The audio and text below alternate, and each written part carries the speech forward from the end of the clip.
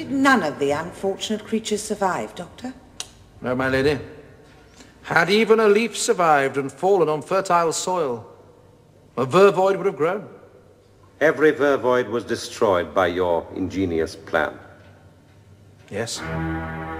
Whether or not the doctor has proved himself innocent of meddling is no longer the cardinal issue before this court. He has proved himself guilty of a far greater crime. You refer to Article 7 of Gallifreyan law? No, my lady, that cannot apply. Had a single vervoid reached Earth, the human race would have been eliminated. Article 7 permits no exceptions. The Doctor has destroyed a complete species. The charge must now be genocide. I want you to meet my darker side. We're not dealing with reality. All my travellings throughout the universe, I have battled against evil, against power-mad conspirators. I should have stayed here. The oldest civilization. Decadent, degenerate, and rotten to the core.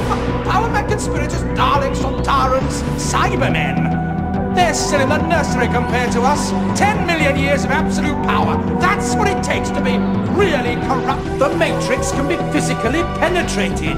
And who would do such a thing, even if it were possible? The Valeyard. The Doctor's well matched against himself. One must destroy the other. I'm known as the Master. How utterly evil.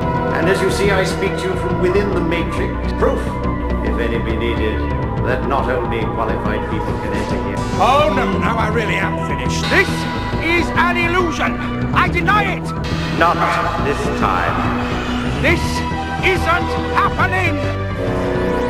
Now that Gallifrey is collapsing into chaos, none of will be needed. Your office will be abolished. Only I can impose order. I have control of the Matrix. This is too late.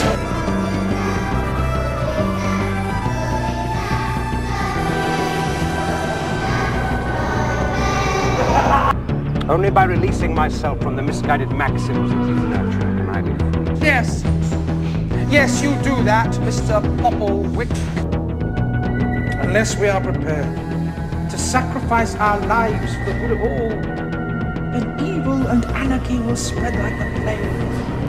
It is a far, far better thing that I do than I have ever done.